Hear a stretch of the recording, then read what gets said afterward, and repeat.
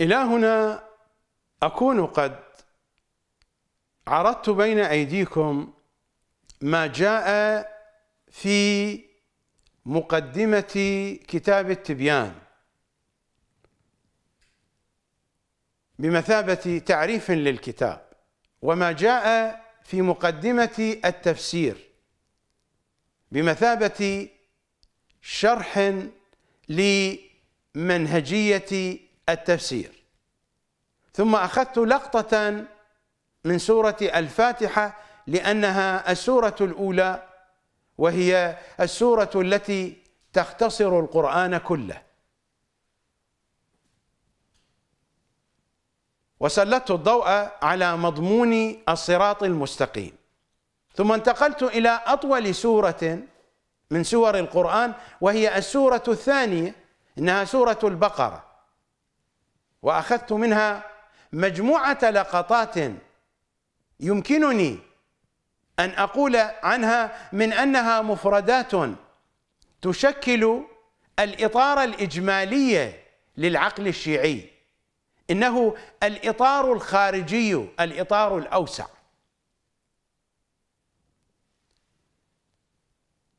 سأنتقل بكم الآن إلى لقطات أخرى ولكن من مواضع متفرقة بين آيات الكتاب وسوره عبر تفسير التبيان للطوسي. ما سأعرضه لكم من لقطات إذا ما جمعت في هذه الحلقة وما بعدها. فإنها تمثل مفردات تشكل الإطار الداخلية الإطار التفصيلية الإطار الأضيق للعقل الشيعي. وستكون البداية من الحديث عن رسول الله لأن رسول الله هو ديننا. لأن رسول الله هو قرآننا. لأن رسول الله هو منظومتنا العقائدية الأصل. بعبارة أخرى محمد هو الأول والآخر عندنا وهو الظاهر والباطن عندنا. محمد هو الفاتح والخاتم عندنا. محمد ديننا. محمد أساس ديننا. محمد قرآننا. محمد مضمون قرآننا. محمد حقيقة حقائق إيماننا. محمد هو كل شيء عندنا. ولا يوجد شيء آخر. محمد محمد محمد. صلى الله عليه وآله. من هنا يكون الحديث عن محمد. ماذا يقول المذهب الطوسي القذر السخيف المنحط السافل الوسخ القذر؟ ماذا يقول عن محمد وآل محمد؟ حديثنا عن محمد وسيكون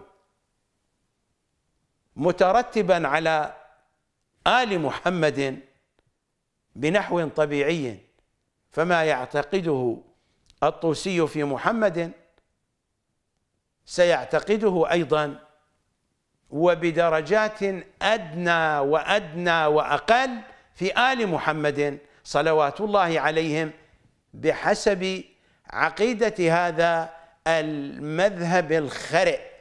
إنني أتحدث عن المذهب الطوسي الضال.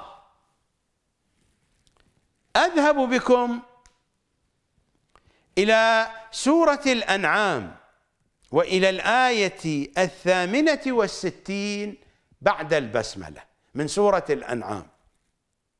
وإذا رأيت الذين يخوضون في آياتنا فأعرض عنهم.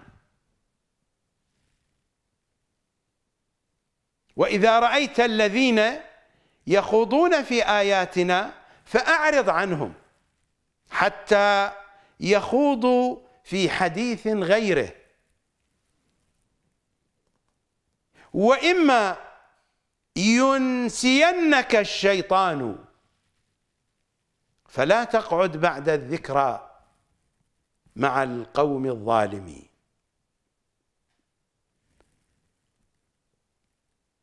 اللقطة هنا. وإما ينسينك الشيطان فلا تقعد بعد الذكرى مع القوم الظالمين. ماذا يقول شيخ الطائفة من فدوى روح لها الطائف. ماذا يقول شيخ الطائفة في الصفحة الخامسة والستين بعد المئة من الجزء الرابع من التبيان من تبيان الطوسي يقول وهو يتحدث عن هذه الآية وعن هذا المقطع منها الذي يخاطب رسول الله لفظا. القرآن بحسب المنهج التفسيري الغديري نزل بإياك أعني واسمعي يا جارة. هذا الخطاب لفظا لرسول الله. مضمونا ومعنى وفحوى لي ولكم. رسول الله لا ينسى. أنا الذي أنسى. نحن الذين ننسى. هذا الخطاب لا يناسب رسول الله. أصلا. وإنما يوجه له لفظا. والمعنى موجه لي ولكم. هكذا علمنا أئمتنا من أن القرآن نزل بإياك أعني واسمعي يا جارة. اللفظ لرسول الله. وإما ينسينك الشيطان. الشيطان لا يقترب من رسول الله. الشيطان يؤذي رسول الله ولكنه لا يقترب من ذاته. وإنما يكون قريبا في الأجواء التي يكون فيها رسول الله كي يحرك الآخرين. من شياطين الجن والإنس. الشيطان لا يخترق رسول الله حتى ينسي رسول الله. الشيطان يخترقني يخترقكم. يخترق الصحابة من فوق إلى تحت ومن تحت إلى فوق. لكنه لن يخترق رسول الله.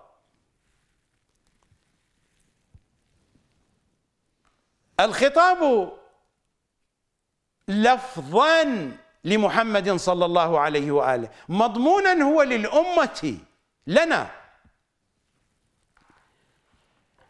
أبو طوس الأثول خلينا نشوف شو يقول هذا الأخبار. أبو طوسي أبو طوس الأثول هكذا يقول واستدل الجبائي أيضا بالآية على أن الأنبياء يجوز عليهم السهو والنسيان. الجبائي المعتزلي استدل بهذه الآية على أن الأنبياء يجوز عليهم السهو والنسيان.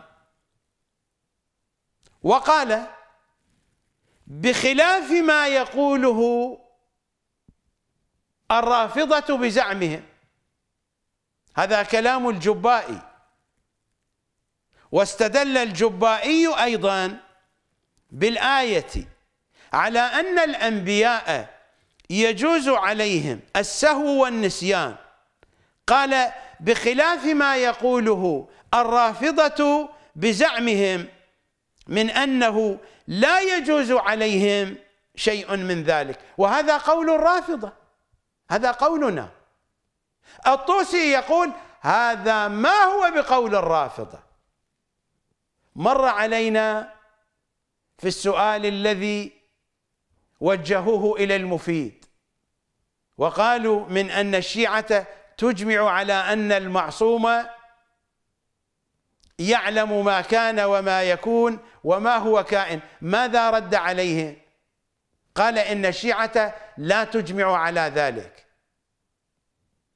إنهم يتحدثون عن مذهب لا علاقة له بدين العترة الطاهرة. يتحدثون بمنطق المعتزلة. يتحدثون بمنطق أعداء العترة. من حيث يشعرون ومن حيث لا يشعرون. والكلام هو هو. الأمر نفسه. الأمر نفسه. إذا ما سأل سائل أحد المراجع مثلا عن لعن أعداء أهل البيت قالوا إننا نحن الشيعة لا نلعن الصحابة. هؤلاء جهال الشيعة أو أن هؤلاء من المدسوسين. الحكاية هي الحكاية. عوام الشيعة يعتقدون بعقيدة تختلف عن عقيدة مراجعهم. مراجع الشيعة هتلية هتلية من الآخر. وهذا واحد من الهتلي اسم هذا هتلي هذا هو اللي أسس الهتالة وهو أكبر الهتلية. هذا مؤسس مذهب الهتلية. إنه المذهب الطوسي الهتلي. واستدل الجبائي أيضا بالآية على أن الأنبياء يجوز عليهم السهو والنسيان. قال بخلاف ما يقوله الرافضة بزعمهم من أنه لا يجوز عليهم شيء من ذلك. ماذا يقول أبو طوسي الورد؟ وهذا ليس بصحيح أيضا. لماذا؟ لأننا نقول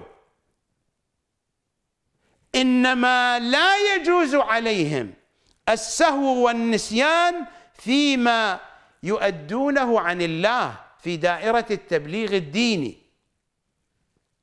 فأما غير ذلك ما هو خارج دائرة التبليغ الديني. فأما غير ذلك فإنه يجوز أن ينسوه أو يسهو عنه مما لم يؤدي ذلك إلى الإخلال بكمال العقل. فهم يسهون ينسون إلى الحد اللي ما يصيرون مخابير. انت يا الله حظك على العقيدة هذه. هذا هو الذي يقول لست أنا. يرفض كلام الجبائي وكلام الجبائي صحيح. عقيدة الرافضة هي عقيدة العترة الطاهرة.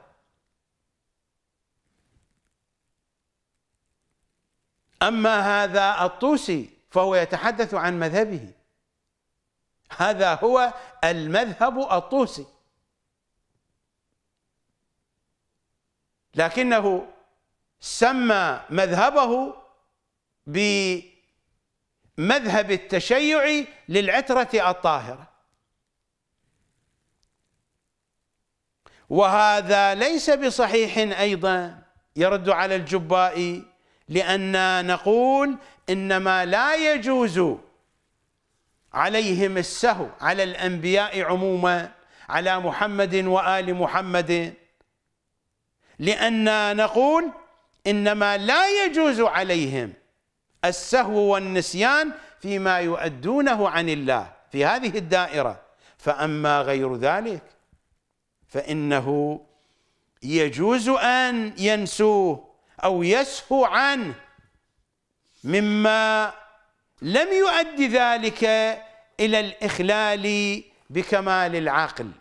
فهم ينسون ويسهون إلى الحد اللي ما يصيرون مخابيل. عقولهم مختلة. ثم يقول وكيف لا يجوز عليهم ذلك؟ ما هو الدليل؟ وهم ينامون ويمرضون ويغشى عليهم. والنوم سهو. من قال بهذا؟ من أن النوم سهو. من قال بهذا؟ ثم يا أيها الطوسي أما قرأت في أحاديثهم من أن النبي المعصوم أتحدث عن محمد وأتحدث عن الأئمة من آل محمد أتحدث عن علي وفاطمة وعن ولد علي وفاطمة من المجتبى إلى القائم من أنهم ينامون تنام أعينهم ولا تنام قلوبهم. فكيف ينسون؟ حتى إذا افترضنا أن النوم سهو وهو ليس كذلك. النوم ما هو بسهو؟ من قال من أن النوم سهو؟ هذا الكلام تسطير لأجل أن يثبت سهو المعصوم بأية طريقة. النوم حاجة طبيعية عند الإنسان. لا أريد أن أحدثكم عن النوم هنا ولكنه هو الذي يقول من أن النوم سهو. وكيف لا يجوز عليهم ذلك؟ وهم ينامون ويمرضون ويغشى عليهم والنوم سهو. ثم ماذا يقول؟ ثم ماذا يقول؟ وينسون كثيرا من متصرفاتهم أيضا. فوق الذي تقدم فإنهم ينسون كثيرا من متصرفاتهم. أنا أسأل الطوسي متصرفات المعصوم معصومة لأنها ترتبط بالدين أو بالدنيا. وحينما ترتبط بالدنيا فإن دنيا المعصوم لا تنفك عن دينه. فكيف ينسون كثيرا من متصرفاتهم من شؤونهم؟ وينسون كثيرا من متصرفاتهم أيضا وما جرى لهم. يعني وكثيرا مما جرى لهم فيما مضى من الزمان.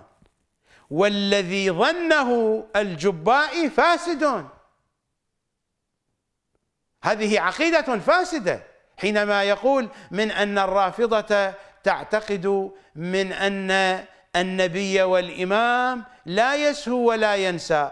يقول والذي ظنه الجبائي في عقيدة الرافضة فاسد. هذا اعتقاد فاسد. نحن نعتقد من أن المعصوم الذي هو النبي أو الإمام لا يسهو ولا ينسى. في دائرة التبليغ فقط. ما يبلغون به عن الله.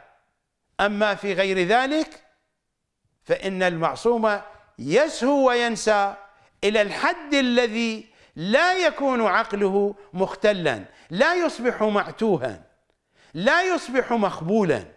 إلى الحد الذي لا يصبح المعصوم مخبولا هو يسهو وينسى. بالله عليكم هذا الكلام كلام سليم. هذه عقيدة محمد وآل محمد. هذا هو الذي أقوله. من أن الطوسية قد أسس مذهبا لا علاقة له بدين العترة الطاهرة. وتلاحظون هذا كان واضحا في كل اللقطات التي عرضتها بين أيديكم. نحن مستمرون. نحن مستمرون. في السنوات الماضية كنت أحدثكم عن الطوسي بإجمال. لكن هاي المرة أريد أنعل والدي لهذا السافل. أريد أنعل والدي القندرة هذا أريد أنعل والدي سأضع الحقائق كاملة بين أيديكم. وحينئذ ستصبح المشكلة مشكلتكم. إما أن تخرجوا أنفسكم من مذهب الطوسيين وإما أن تبقوا مرتكسين في هذا المذهب القذر الوسخ. بنفس هذا العقل هم يصدرون لكم الفتاوى. بنفس هذا العقل. وكلهم وفقا لهذا المنطق. بالمناسبة عقيدة الخوئي أسوأ من عقيدة الطوسي في موضوع سهو المعصوم. وقد تحدثت عنها وفصلت الكلام فيها. عقيدة الخوئي أقذر وأوسخ وأقبح من عقيدة الطوسي. دائما أقول لكم مراجعنا مثل بول البعير لي ورا لي ورا وحوزة النجف مثل بول البعير لي ورا لي ورا. السوء الذي عليه الطوسي يكون جميلا بالقياس للسوء الذي عليه الخوئي ومحمد باقر الصدر والسيستاني والبقية.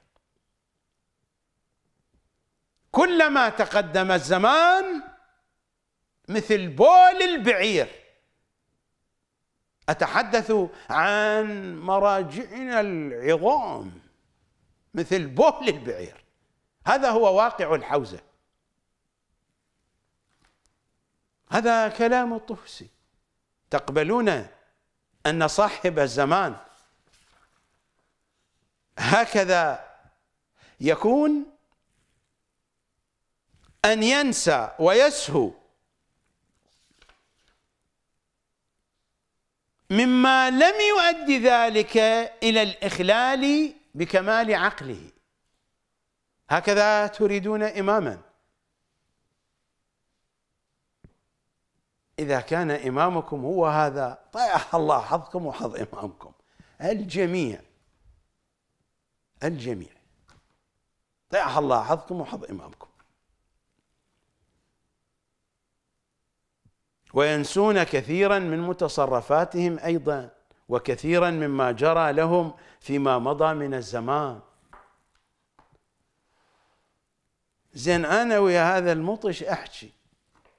هذا المطي شلون راح أتفاهم وياه؟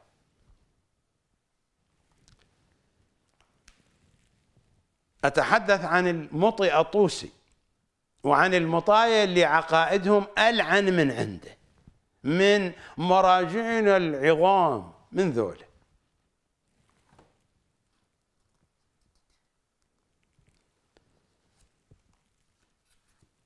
هذا أبو طوسي أما قرأ سورة ياسين في الآية الثانية بعد العاشرة بعد البسملة.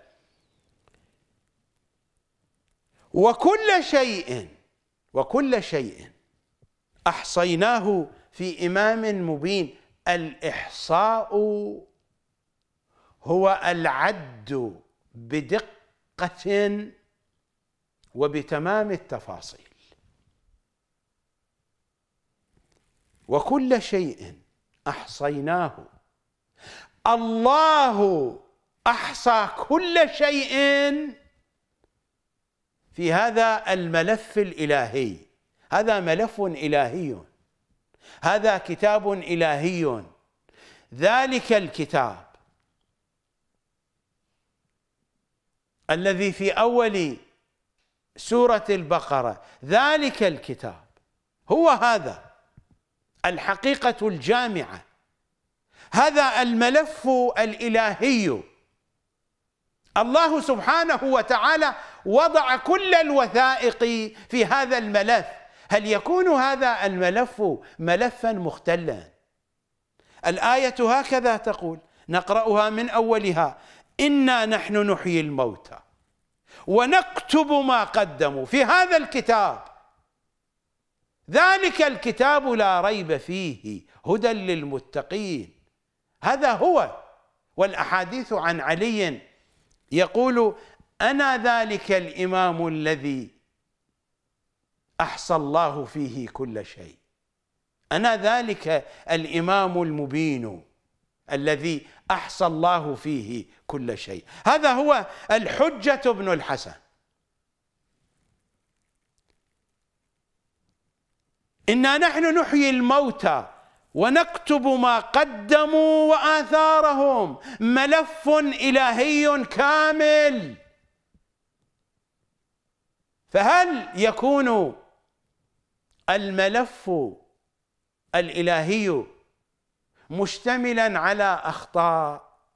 وهناك معلومات تنسى ولا تكتب في هذا الملف.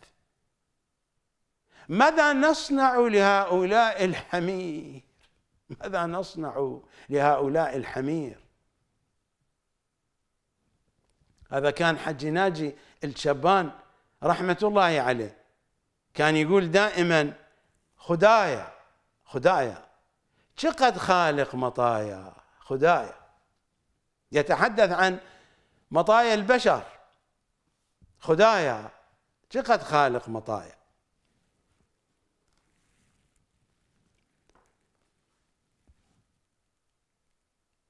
الآية واضحة. إنا نحن نحيي الموتى ونكتب ما قدموا وآثارهم. نكتب الأشياء بكل تفاصيلها ونكتب ما قدموا وما يترتب على ما قدموا وآثارهم. وهذا مصداق من المصاديق. بعد ذلك تقول الآية وكل شيء أحصيناه في إمام مبين. كيف يتسرب النسيان والسهو إلى هذا الإمام الإلهي المبين؟ كيف يمكن ذلك؟ بحسب دين العترة لا يمكن ذلك. بحسب المذهب الطوسي القذر الخرئ يمكن هذا. ما هو هذا الذي يقول؟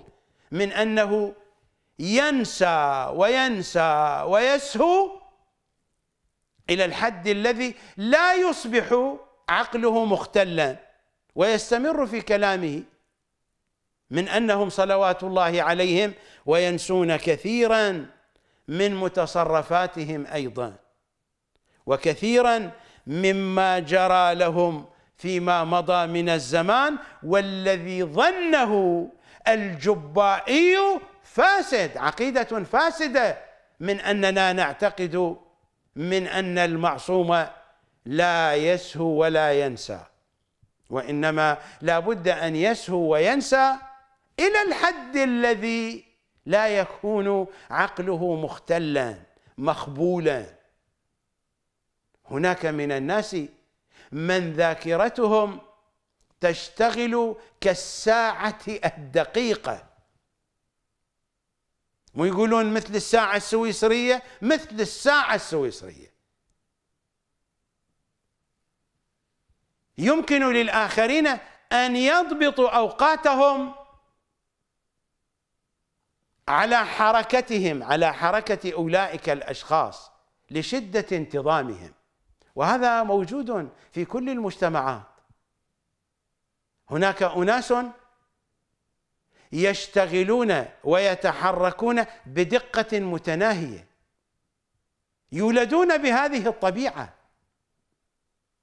فهؤلاء سيكونون أفضل من هذا المعصوم المخبول المعتوه وفقا للمذهب الطوسي القذر صلوات على آل محمد. صلوات تترى وتف على آل طوسي. إي والله صلوات صلوات تترى.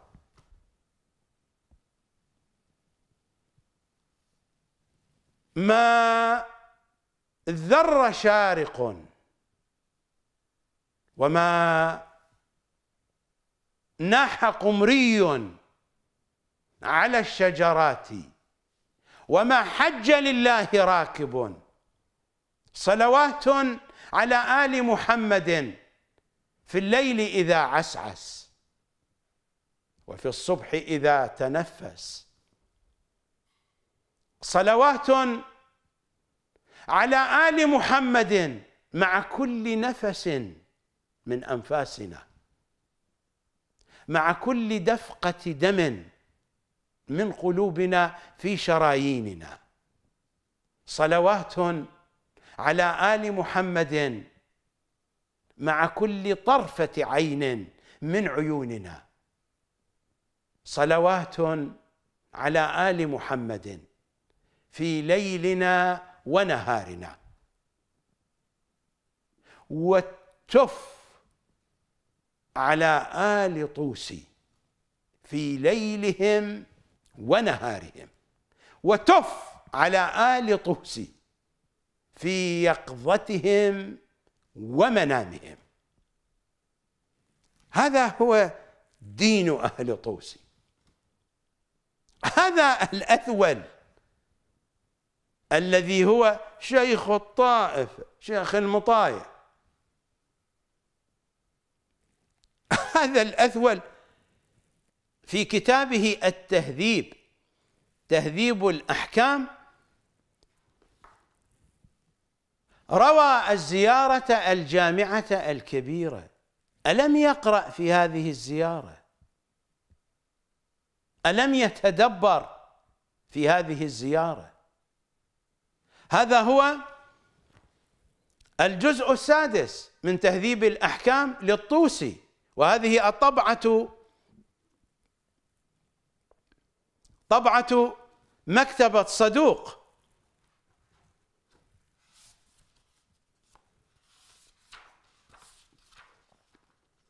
طهران إيران في الصفحة السابعة بعد المئة. الحديث الأول. أورد الزيارة الجامعة الكبيرة. رواها عن الصدوق لأن الصدوق قد روى الزيارة الجامعة الكبيرة في كتابه الفقيه وفي كتابه العيون. وهنا الطوسي رواها في التهذيب. هذا النخعي يقول لإمامنا الهادي صلوات الله عليه علمني يا ابن رسول الله قولا أقوله بليغا كاملا إذا زرت واحدا منكم.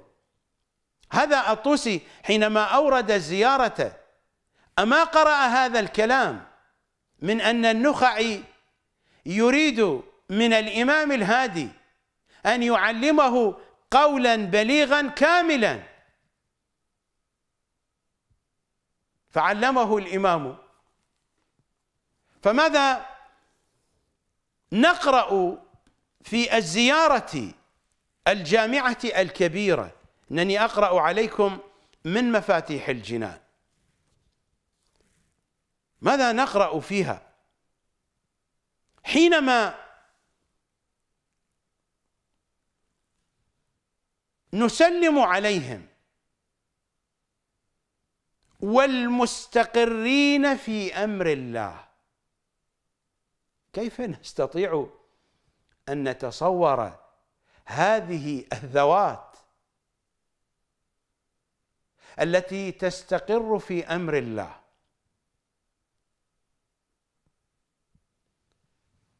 خلقته فاستقر في ظلك.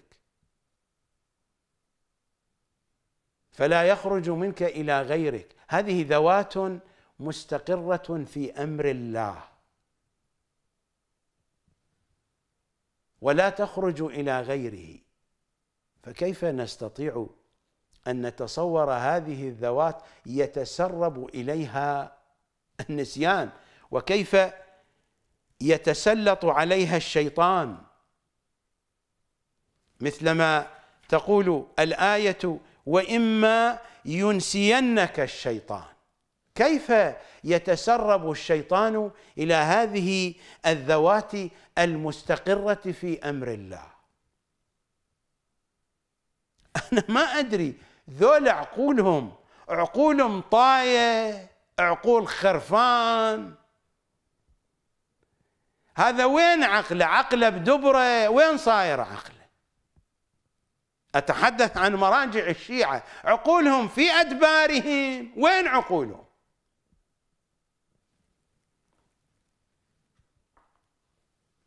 ما هو الخوئي؟ عقيدته أقبح من عقيدة الطوسي. وموجودة موجودة. وبخط يده بخط يده. هذه عقيدته في آخر أيامه. مات عليها مات عليها. أي سوء توفيق هذا؟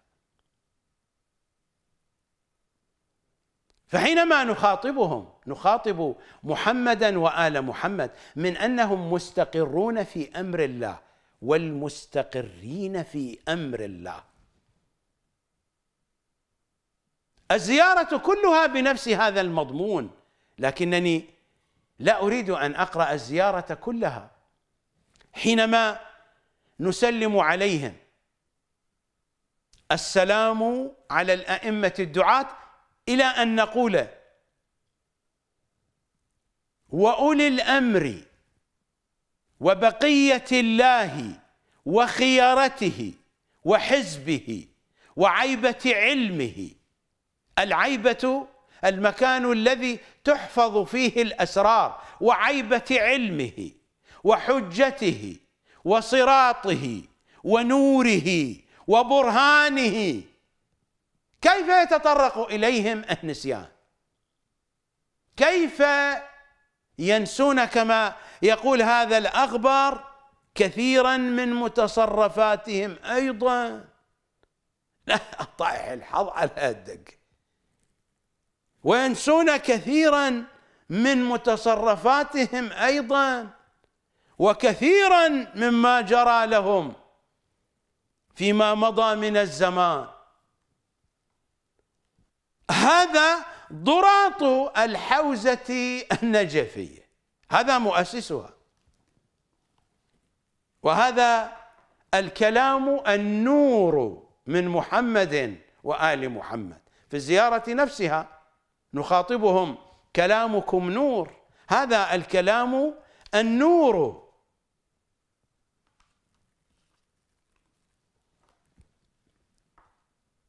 من محمد وآل محمد والحق معكم وفيكم ومنكم وإليكم وأنتم أهله ومعدنه. نحن ماذا نقرأ في سورة البقرة؟ في أطول آية من آيات القرآن إنها آية كتابة الدين. يا أيها الذين آمنوا إذا تداينتم بدين إلى أجل مسمى فاكتبوه. إنها الآية الثانية والثمانون بعد المئتين بعد البسملة من سورة البقرة. ماذا جاء فيها؟ واستشهدوا شهيدين من رجالكم. فإن لم يكونا رجلين فرجل وامرأتان ممن ترضون من الشهداء. لماذا امرأتان؟ أن تضل إحداهما فتذكر إحداهما الأخرى. أن تضل أن تنسى. فالنسيان ضلال. النسيان ضلال. واستشهدوا شهيدين من رجالكم. فإن لم يكونا رجلين فرجل وامرأتان ممن ترضون من الشهداء. لماذا امرأتان؟ أن تضل إحداهما فتذكر. فتذكر تشير إلى أن معنى تضل تنسى. الآية واضحة تفسر نفسها بنفسها. أن تضل إحداهما أن تنسى فتذكر إحداهما الأخرى. فالنسيان ضلال. فحينما أخاطبهم والحق معكم وفيكم ومنكم وإليكم وأنتم أهله ومعدنه.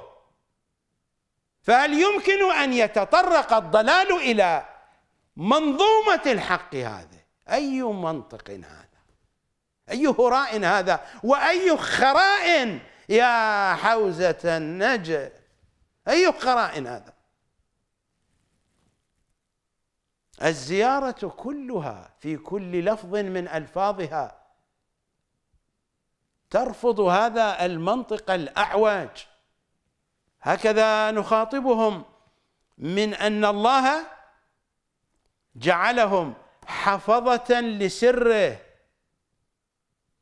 وخزنة لعلمه ومستودعا لحكمته وتراجمة لوحيه وأركانا لتوحيده وشهداء على خلقه فكيف ينسون؟ تصير القضية خرطي. كيف يجعلهم شهداء على خلقه وهم ينسون؟ كيف يجعلهم أركانا لتوحيده وهم يسهون؟ كيف يجعلهم حفظة لسره وهم ينسون؟ وكيف يكونون خزنة لعلمه وهم ينسون إلى الحد الذي لا تختل عقولهم؟ طيح الله حظ عقولكم يا مراجع النجاة تضحكون على الشيعة ولكن الشيعة حمير. تضحكون على الشيعة ولكن الشيعة حمير. أتحفوهم أتحفوهم بالوثيقة الديخية. ما أريد أجيب الأسماء. واحد قال لي على شنو مستعجل؟ على شنو مستعجل؟ قلت له اخر بابا ما توصل النوبيليه قال توصل. اطمئنا تركبهم. يعني مش الشيعة تركبهم وتقول لهم ديخ. والله نفس عبارته واحد من الأعلام قبل خمس سنوات قال لي تستعجل وش دا أقول لك. تركب. يعني خلاقة آمیشینی مردم خلاقا آمین چی میگید به علم بکر حرکت بدون فقش. ديخ عربية فقش. والنص عبارة كنا على ثقة وكلكم تعرفونه لأنه ما أريد أجيب الأسماء. عرفنا؟ قال تركب مثل ما ركب فلان وقال ديخ لا مو علم إجمالي هذا واقع واقع الشيعة. لا أقول واقع الشيعة هذا والله هذا واقع